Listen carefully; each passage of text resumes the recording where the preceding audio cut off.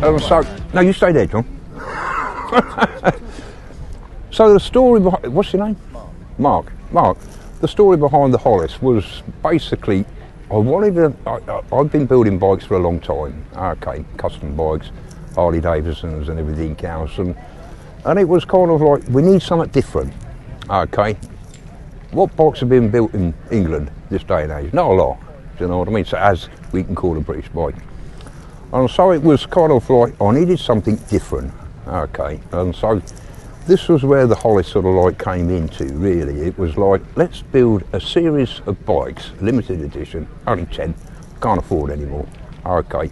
And so the design aspect, okay, what we're going to do, okay, it's just going to be a little country runner you know, so you just jump on it, go down to the pub, you know, maybe a little sat nav, take you back home or something, whatever.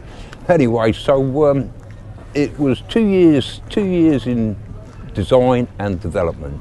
Okay, from sketching out. Okay, and then we come up with this little design, keep it simple, vintage look, classic looking, give it that vintage look. It needs style. It needs elegance. It needs something where, you know, you turn up at a pub, do you know what I mean? And you got something really, really different. And that was what it was all about. And so therefore, that's how the, uh, the uh, came about. The, um, crikey, the, um, I mean, to get it onto the road, okay, there were so many conformities we have to sort of like apply, you know, adhere to. And certainly with um, the likes of um, the DVLA and VOSA, you know, so it has to conform to the road and everything else. So that took us about, that took us about, uh, about a year and a half to get all the legalities and the paperwork done and everything else so we could make a presentable bike, okay, for, uh, uh, uh for people. And, uh, and that's really where it came from, you know, something different, yeah, and made in England, yeah. And so, uh, and to keep it British, we have to have everything. We have to have 90% of the parts have to be from the UK. Yeah. Yep, and that's it. Yeah. And so, and so that's where it came from, really. Um, all with the modern stuff on it. So we have the Brembos. We had um, uh, Brembo designed the package and, um, and what have you. Um, so we got disc brakes all around. We got modern shocks, the um, the twin, you know, the twin um, uh, twin shocks on the back. Yeah. So yeah, yeah, yeah. It's, it, there's only a limited edition of 10. That's all that'll ever be done. Okay. They are complicated bikes to build. They take they, there's something like around about 16 weeks, isn't there? Yeah, 16 weeks to build them. They're all from scratch. We have the jigs and everything, and so they're manufactured. Um, um, you know, we take our time. Everything's TIG welded. We have, you know, we have uh, we use the best of the steels, the best of the best we can on them because we want them to last. You know, so we use the Talon wheel hubs, um, beautiful wheel hubs on them.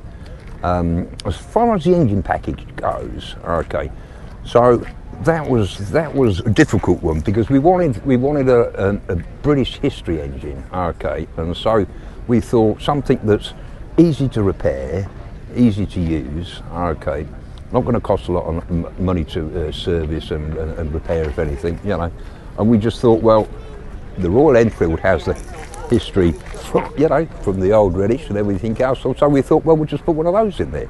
Yeah, and there, see how you get on with them. You, you know what a Royal Enfield's like. You know, if you set them right and you look after them, you know, everything's fine. Yeah, they're fine. And of course, um, all the clients there, yeah, they enjoy the rides. Half of them are getting stopped along the road because nobody knows what it is. What's a Hollis? You know, and it's, it's like, there you go, that's it, really. Well, yeah, that's it, yeah uh, Deuce Machina, yeah. I believe there's only about six of them around or something on these bikes, actually uh, commissioned by Norton, the factory, um, on the build, yeah. Yeah, so they can have whatever whatever they want. We will we will um, you know we will always um, you know, try and help people. You know, with the bikes, everybody wants you know what they want, and they'll get what they want. And so we will build, yeah, right from scratch. We will start right from scratch and um, really depends on sort of like you have the sort of like the low end, the mid range, and then the top end. We, I can meet all criteria. Yeah, I can meet all criteria, and of course the best the, the best one is our is our uh, Girder Forks.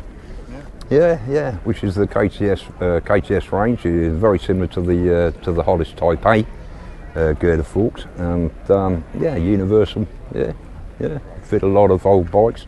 We have the Panther on, over there, 19, what's that, 1950, 1951 Panther with uh, uh, the Hollis Taipei girder forks on it. And you wouldn't know the difference unless you was a Panther enthusiast, you know, kind of like specialist and what have you. And they work very well, work really well, yeah, yeah, work really well. So, um, and then of course we have our kind of like, you know, more elaborate designs like you see on the, on the curvy bike. Yeah.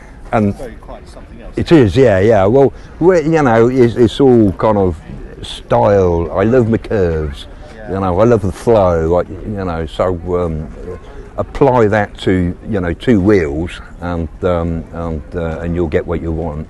Yeah, yeah. And it's like everything, labour of love, isn't it? Yeah, it is. Yeah. And I'm still poor, by the way.